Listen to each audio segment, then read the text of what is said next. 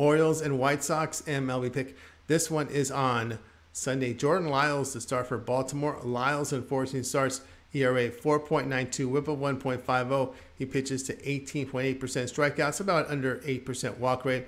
Right-hander dishes 42% ground balls, 1.14 home runs per nine innings.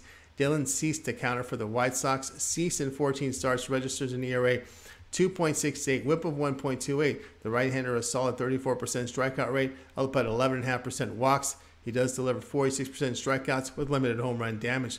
But the Orioles have won the first three of this series with that 6-2 win. Orioles pitching has allowed a total of seven runs past eight games. White Sox have scored three runs total in this series to play here. Baltimore plus 175.